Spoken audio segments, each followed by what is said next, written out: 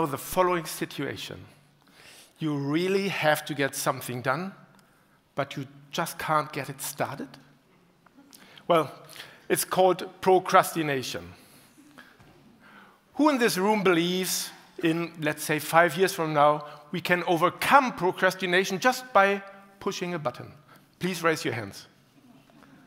Well, well, five years science fiction.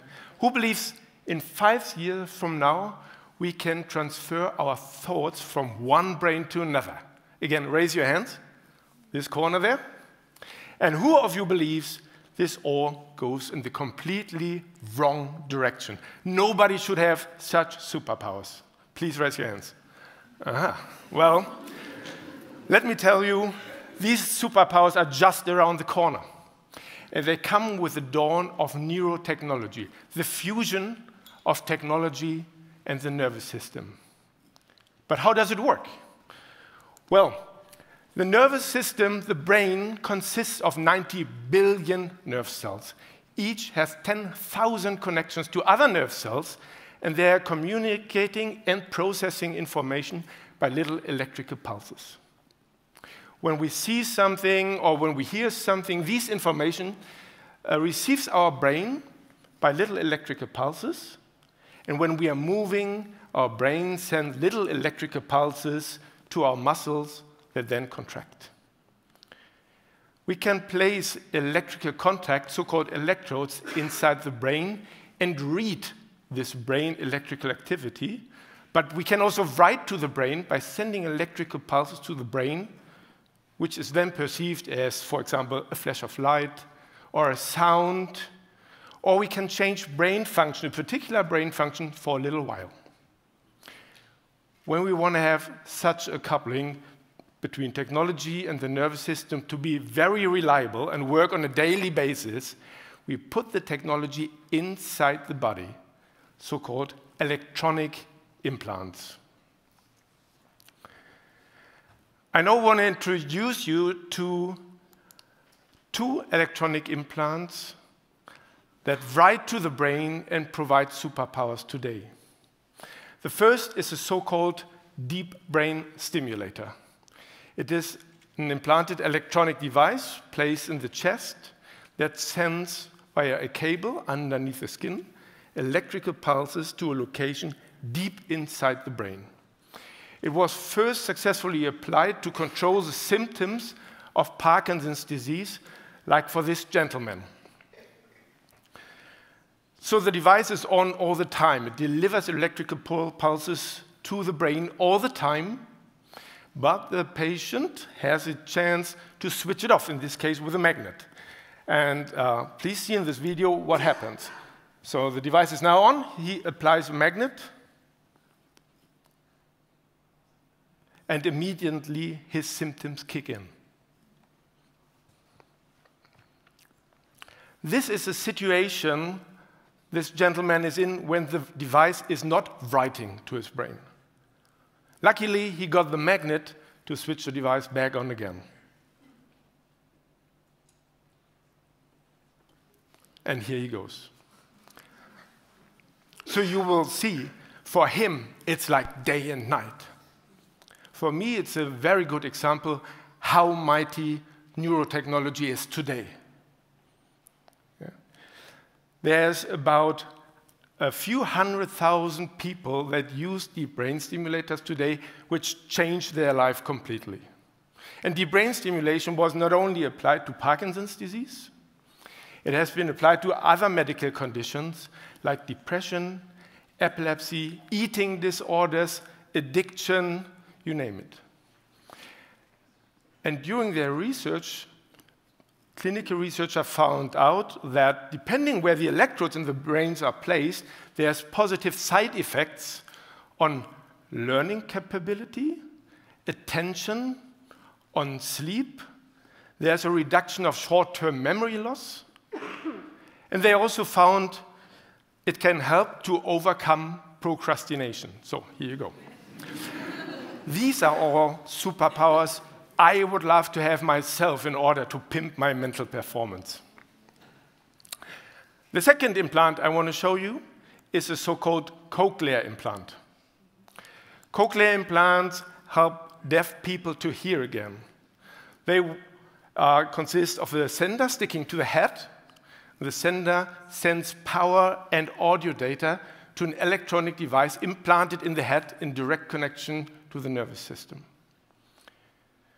The cochlear implant systems work best when applied to very young kids of only a few months age. These kids then develop good hearing ability, good speaking ability. They can visit regular schools, they can have conversation, and many of them can even enjoy music. There's about 1 million cochlear implant users today, and newer development remove these senders sticking to the head, hence the technology will become completely invisible. And by the way, cochlear implants can not only use microphones as audio sources, they can also establish a wireless link to an audio system as we have it in this room, so they can bypass airborne sound. The superpowers cochlear implants provide is you can hear things nobody else can hear. Yeah?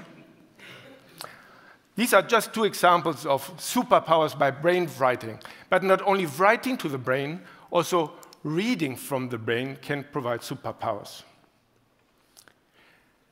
Today, people put, put hundreds of electrical contacts in or on the brain, recording the brain electrical activity, which is then interpreted by artificial intelligence. This fundamental method has been applied to many studies, and I want to show you a few of those. In the first study, researchers played a famous rock song to people with implanted brain electrodes. The brain activity was recorded and interpreted by artificial intelligence, and the artificial intelligence reconstructed the song the people were hearing. So I want you all now to listen First, we play the original audio the people were hearing, and then the song reconstructed by artificial intelligence just by brain activity. All of was just a brick in the wall.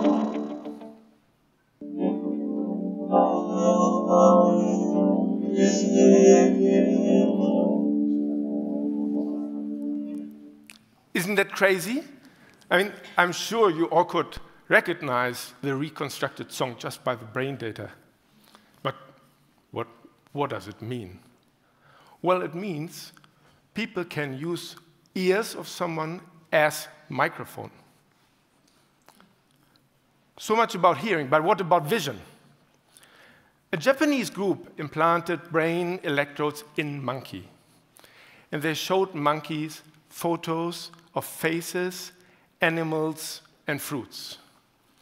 They recorded the electrical brain activity and again got artificial intelligence to interpret and try to reconstruct the images the monkeys were seeing. And this is the result. This means you can use eyes as digital cameras today. But we are also able to decode mental states. For example, the level of attention. These Chinese kids had to wear headsets in school. These headsets sense brain waves, and the brain waves correspond with the level of attention they are paying. The light at the front of the headset indicates if a kid is focused or if it's daydreaming a little bit. The data is streamed to the tablet PC of the teacher, who keeps a record, and sends these data to the parents, who could have a chat with the little fellows after school. I have three little kids in school myself, and I'm very curious how much attention they're actually paying, but I still don't want them to be monitored like that. Am I right?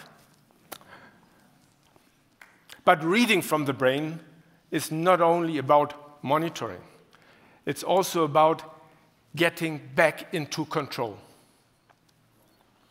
Today, in recent studies shown it's possible to decode so called silent speech. Silent speech are words that we imagine, but we do not articulate. This lady in the wheelchair cannot speak because of a disability, but she has implanted electrodes in her brain. The electrodes are connected via the cables that you see to a computer. The computer decodes her brain electrical activity and controls the avatar that you see on the computer screen. And now the avatar can express the words the lady is thinking. With this technology, with this mind reading technology, she can have conversations impossible before. Have a look. I was thinking about running to the store. What time will you be home? That's her thoughts. In about an hour. Do not make me laugh. what an amazing technology. In particular, for a person with a healthy brain locked inside a paralyzed body, having no other means of communication. Mind control of technology. What a superpower. Newer developments overcome the cables, so they are completely invisible. Now I want to invite you to a little experiment of thoughts. What if we combined the mind reading technology I just showed you with the cochlear implant technology you saw earlier. Someone with a mind reading implant can send his or her thoughts to someone else through the internet who's wearing a cochlear implant. This person can immediately understand the thoughts of the first person. If you are using online translation tools like we all do, they don't even have to speak the same language. Imagine you're receiving in your head the thoughts of a person on the other side of the planet thinking these in, let's say, Cantonese. The technologies are there. You have seen it with your own eyes, and they work. Let's take it even one step further. When you're wearing a brain mind reading implant. And you're using it for surfing the internet, for controlling an AI assistant. You can have the research results played back directly into your own brain using cochlear implant technology. What you're effectively having inside your head is a mighty brain coprocessor with virtually unlimited calculation power, unlimited memory, and access to information worldwide. So the potentials of this superpower is absolutely mind-blowing. And honestly, myself, I'm equally fascinated and scared. But let's get back to the title of the talk. The technologies I introduced you to are already a great blessing for millions of patients worldwide. And therapeutic brain writing will become so much better when we combine it with the newer brain reading technologies. So the therapies can be adjusted to the demand of the patient. Although patients will be the first or are the first to benefit from brain implants, there seems to be a hidden agenda. In the past years, we saw 2 billion US dollars being invested in startup companies that develop implants for mind reading technology. However, there's only a very few people being so severely paralyzed that they need this technology. So the investment targets a different market. It targets the consumer market, providing superpowers for all. And these superpowers are enhancement, entertainment, self optimization, mind control of technology, and brain to brain communication. The access to the technology will be similar to the access to today cosmetic surgery clinics, not everybody will be able to afford it. The technology will be invisible. So when you're talking to someone, you don't know if this person has superpowers and might share this conversation online with someone else. The options for commercial exploitation and misuse are huge. We all know today Amazon, Google, and Meta know our uh, personal preferences better than our long-standing partners do. Brain implants will make us completely transparent. And note, brain data can contain delicate hints, like on your sexual orientation. You will agree, this is highly sensitive personal data. So, how can we prevent misuse? Luckily, there are people working on standards on cybersecurity for brain implants, on international regulation on brain data access and ownership. Regulations slow down innovation. I know, I know, I know. But we need global regulations because if I needed a brain implant or someone from my family because of a neurological condition or because of the superpowers, because we want to keep up with the others, I want technology I can trust.